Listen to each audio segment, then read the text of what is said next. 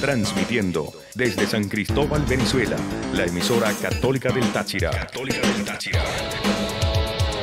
Radio Natividad 101.7, proclamando la buena nueva. Escuchas la radio católica del Táchira. Radio Natividad. La voz de Dios.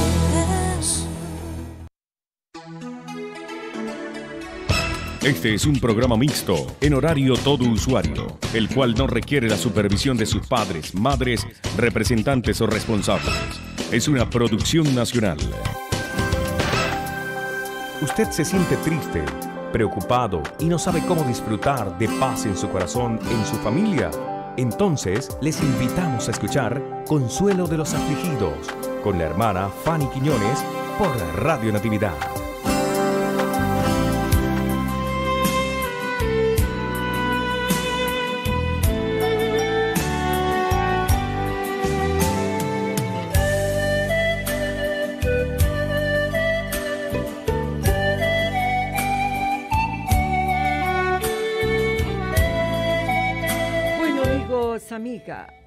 Hermoso.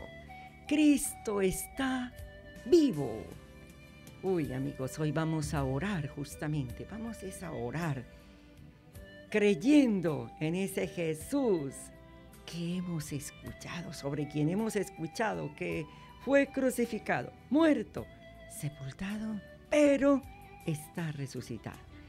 Entonces, amigos, vamos, estamos en Radio Natividad 101.7, bajo la bendición del Dios de Israel, con la protección del Espíritu Santo y la dirección de la administradora Virgen María de Jerusalén.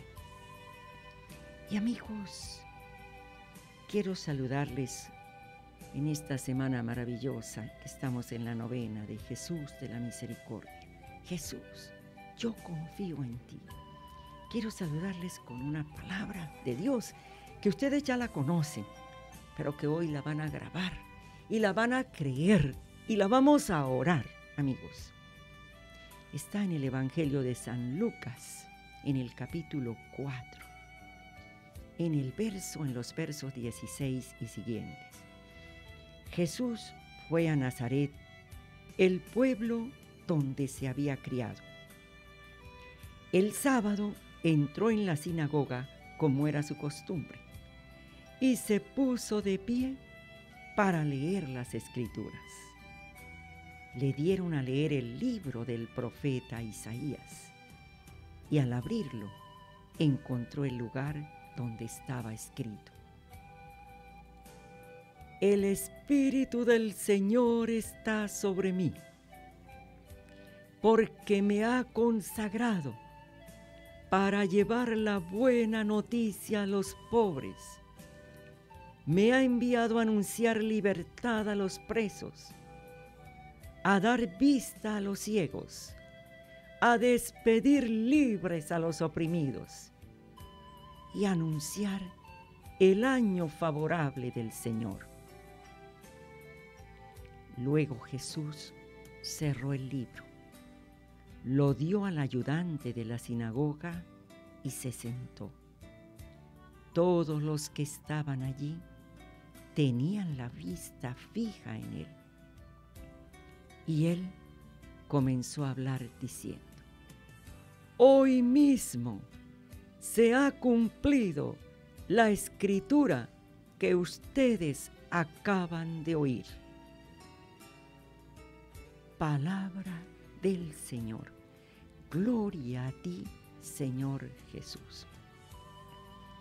Amigos, vamos a colocar la invitación al Espíritu Santo en una canción y luego nosotros vamos con escuchando la canción le pedimos al Espíritu Santo que nos regale la pureza, la humildad, la sabiduría divina para creer que Jesucristo está pasando por su vida hoy, que está pasando por mi vida hoy, que ha venido a con- anunciar la libertad a los presos, a los que están presos en algún sitio, pero también a los que están prisioneros de su propia vida, de su propia manera de ser, a poner en libertad a los que están oprimidos, a despedir libres cualquier opresión que tenga usted.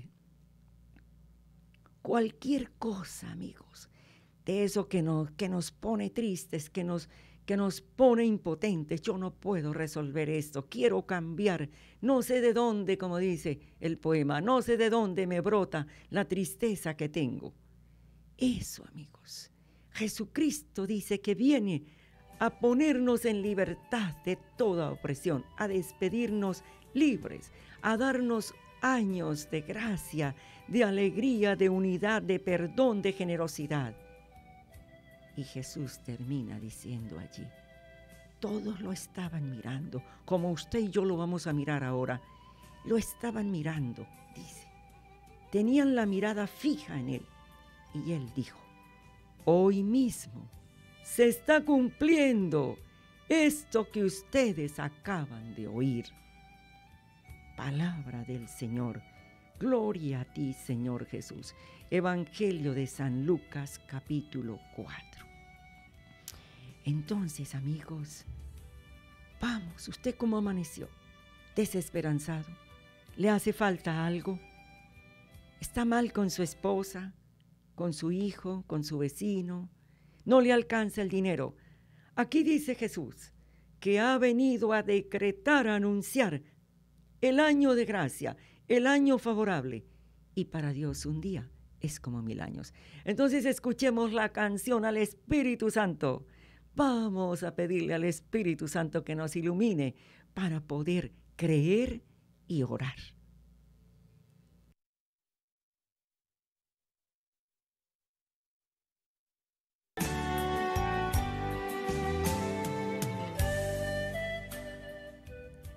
Bueno amigos, Evangelio según San Lucas, capítulo 4, versos 16 y siguientes.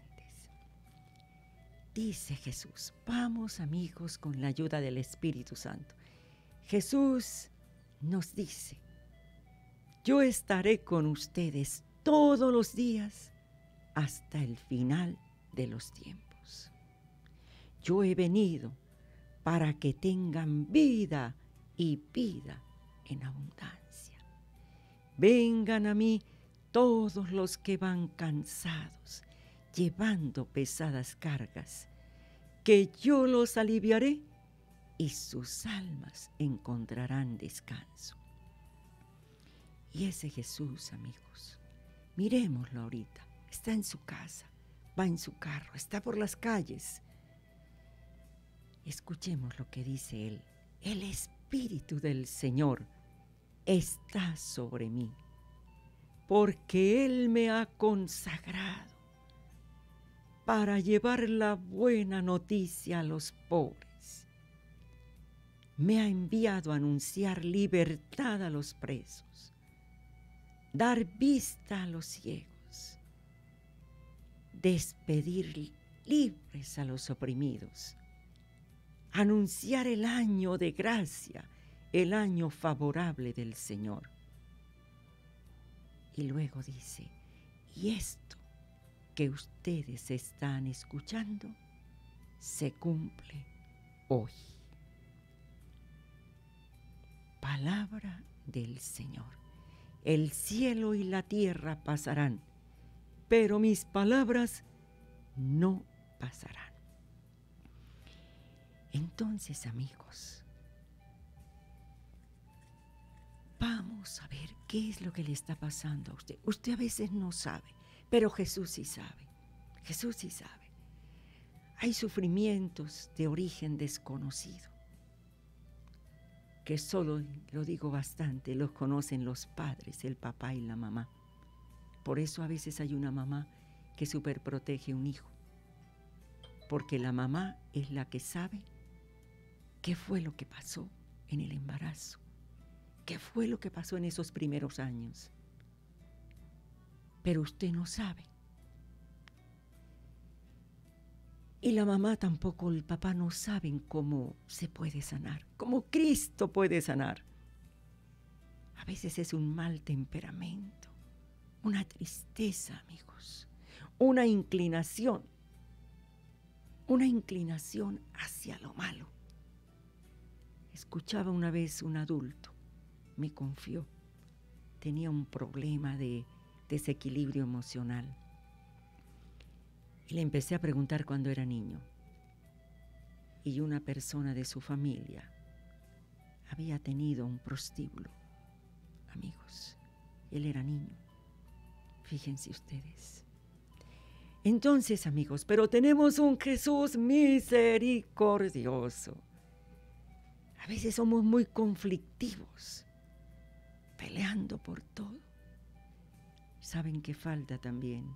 Callar. No para encerrarnos en nosotros mismos y decir, yo no valgo nada. No. Es para ponernos en la presencia de Jesús con la ayuda del Espíritu Santo y creer, amigos. Por eso es que hay que leer la palabra de Dios, hay que orarla para sanar también, para dejarnos sanar por Cristo, porque esta palabra, dice Jesús, se cumple hoy.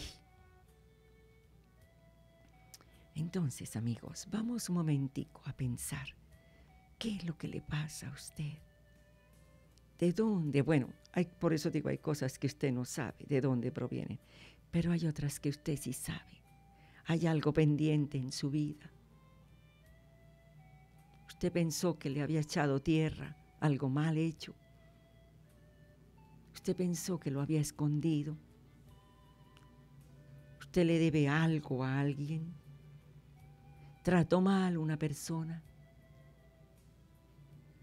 Usted no quiere atender a su mamá, a un hijo. Usted está muy apegado, apegada a los bienes materiales, mientras otros no tienen lo de hoy.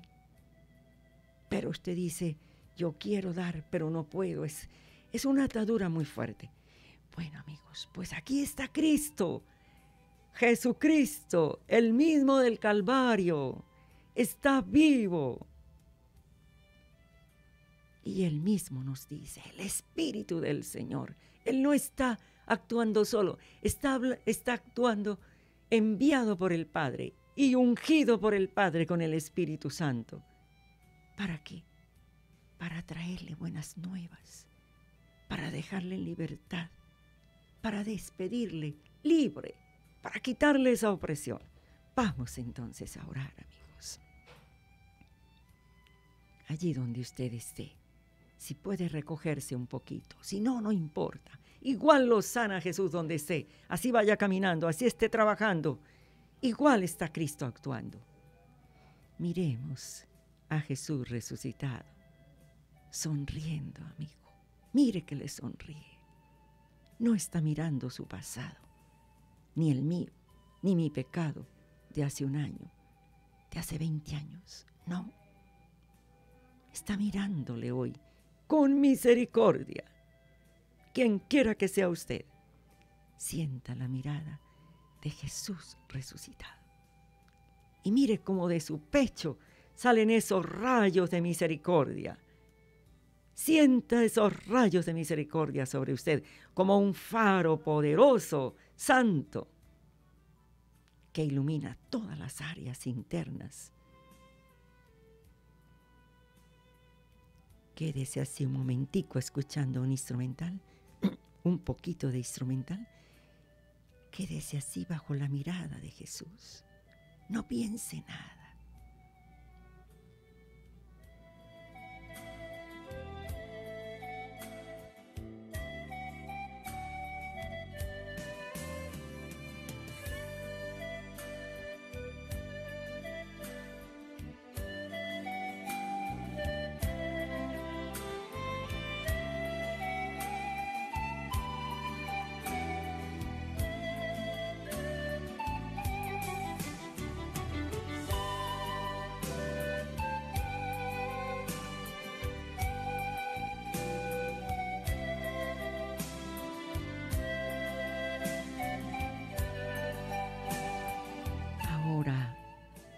Cuéntele a Jesús.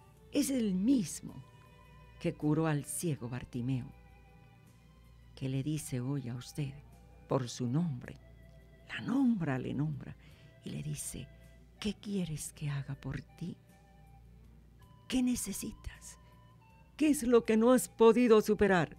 ¿Qué es lo que te hace llorar? ¿Qué es lo que te hace meterte en ti mismo, en ti misma? ¿Qué quieres que haga por ti? Escúchelo y mírelo. Con alegría no le está ofreciendo la sanación, no le está ofreciendo la libertad. Bravo. Sino mírelo y escuche, escuchando el instrumental, escucha a Jesús que le dice, ¿qué quieres? Que le pronuncia su nombre y le dice, ¿qué quieres que haga por ti? Y cuéntele a Jesús, cuéntelo porque Él hoy, hoy le va a sanar, le va a liberar, le va a quitar esa ceguera. Todo esto que está pronunciando Él se cumple hoy. Entonces vamos a decirle a Jesús qué es lo que pasa, qué es lo que necesita usted, yo también.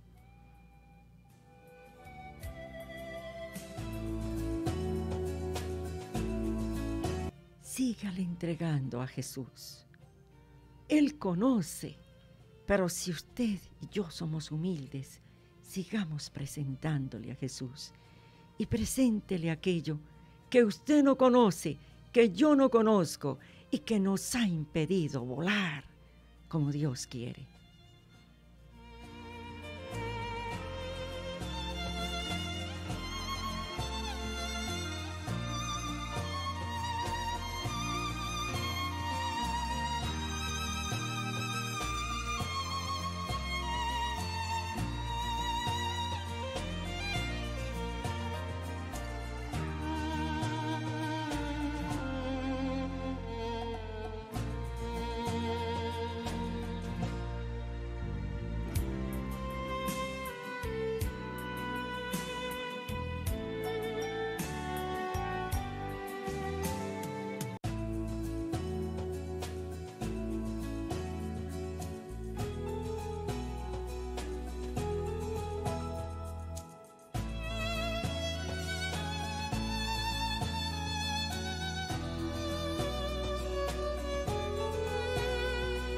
Jesús poderoso, Jesús misericordioso.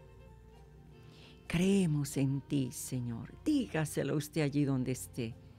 Si no puede mentalmente, si no puede con sus labios. Yo creo, Jesús, que estás vivo. Creo que eres el ungido del Padre, que el Padre te ha consagrado con su Espíritu Santo. Creo, Jesús, que tú has venido a traer buenas nuevas a los pobres, a anunciar la libertad a los presos, a dar vista a los ciegos, a despedirnos libres de toda opresión. Jesús, yo creo que tú has venido, que estás vivo para anunciar años de gracia para mí, para mi familia, para mi esposa, para mis hijos, para este país hermoso, para todos mis hermanos. Jesús, yo creo que tu palabra se cumple hoy en mi vida. Por eso, Señor, dígale, yo te pido perdón por mis pecados. Te pido perdón, Señor, por mi egoísmo, por fijarme solo en mí por quitar la mirada del que ha necesitado, por quitar la mirada a veces de mi esposa, por no ayudarle, por no fijarme en el dolor de ella o en el dolor de mi esposo o en el dolor de mis hijos, en el dolor de mi vecino, de mi vecina. Te pido perdón, Señor, por a veces malgastar el dinero en lo que no es necesario. Te pido perdón por creer que soy más que otro hermano, que otra hermana. Te pido perdón, Señor, porque estoy preso, prisionero del dinero, de mi propia presencia, de mi propia profesión, de la que tú me diste, Señor. Te pido perdón, Señor, por todo aquello que te ha causado tristeza a ti y que no me ha dejado prosperar ni vivir la alegría que tú me das. Hoy, Jesús, te pido que tomes mi vida. Toma todas las áreas internas, Señor. Allí donde hay dolor de mi parte que no conozco, Señor. Pasa por mi vida, Señor. Sáname, Señor. Libérame, Señor. Libérame, Señor, de aquello que yo no conozco y que me empuja a hacer lo que no debo. Y a veces me causa esta tristeza que llevo. Libérame, Señor. Tú eres un Dios de misericordia. Tiéndeme tu mano, Señor, porque a veces caigo. A escondidas caigo. Levántame, Señor. Quiero ser un hombre nuevo, una mujer nueva. Dígaselo, quiero ser un joven nuevo, una joven nueva. Señor, sácame del lodo, del barro. Dame tu mano, Señor. Sácame del barro. Sácame de la trampa que me han tendido, que me ha tendido el enemigo.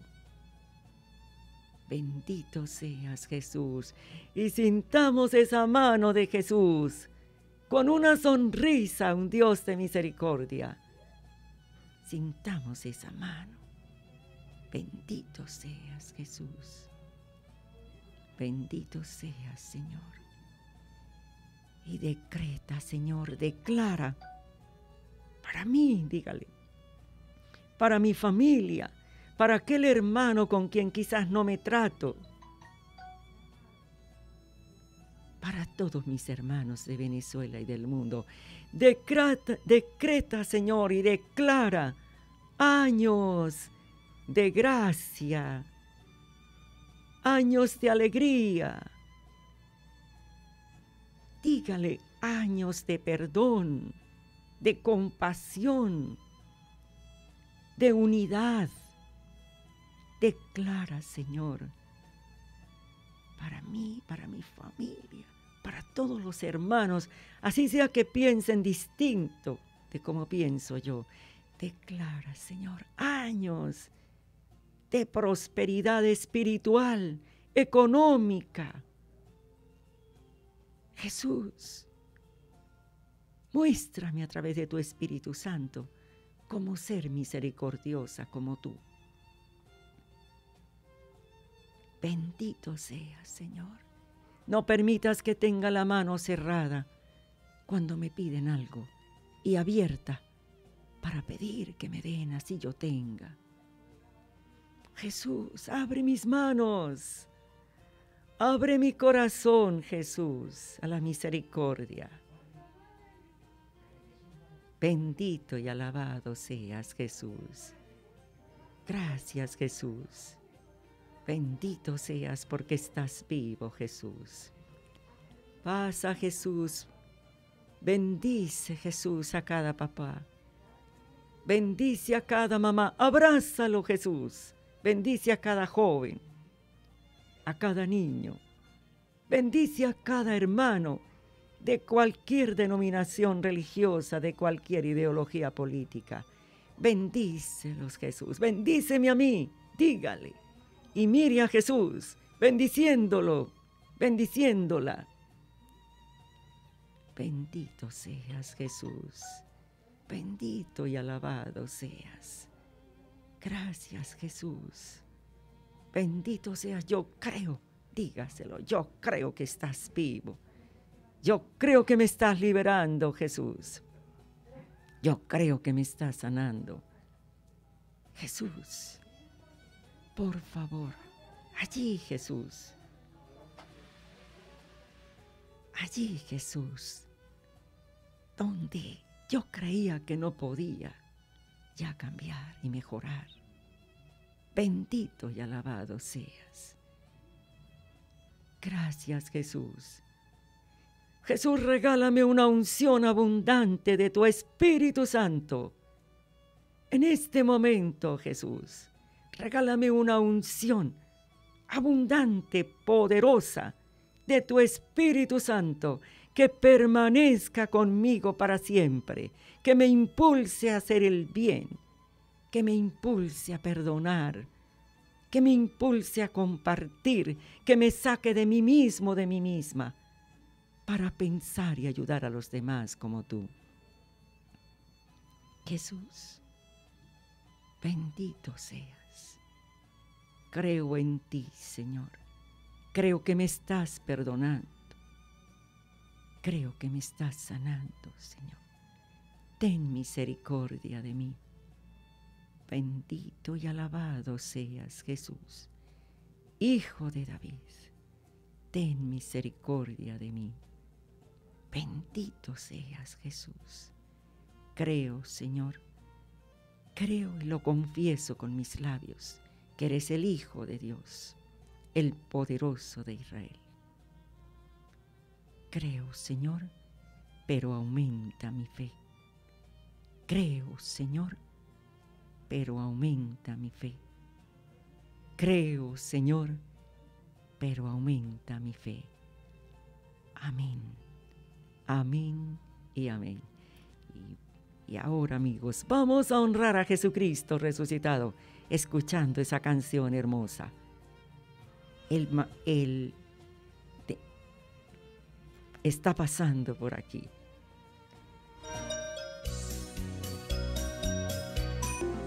Yo sé lo que tú vales. Te abro una puerta que nadie te va a cerrar, pues aunque tienes poca fuerza, has guardado mi palabra y no has renegado de mí. Bueno amigos, con esta alegría vamos terminando hemos proclamado, se ha proclamado el Evangelio de San Lucas, capítulo 4. Vuélvalo a leer en el verso 16 y siguientes. Vuélvalo a leer. Quédese en silencio.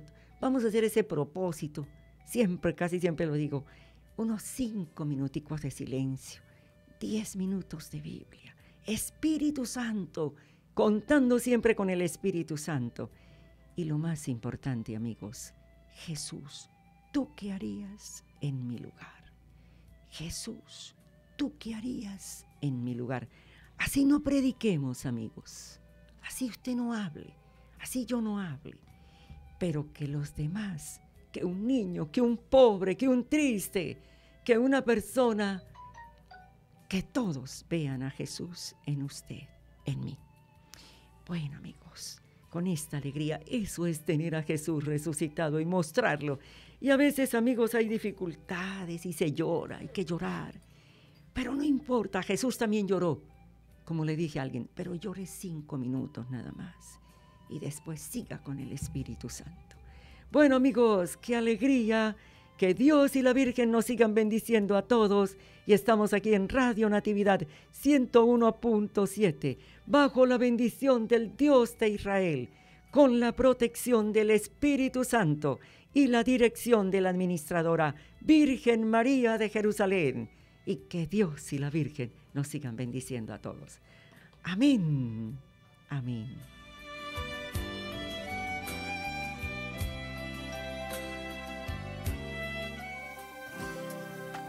Gracias por haber escuchado estas promesas de Dios que se hacen vida en usted. Gracias por creer que todo es posible para Dios y por haber estado en sintonía del programa Consuelo de los Afligidos con la hermana Fanny Quiñones a través de Radio Natividad 101.7 FM.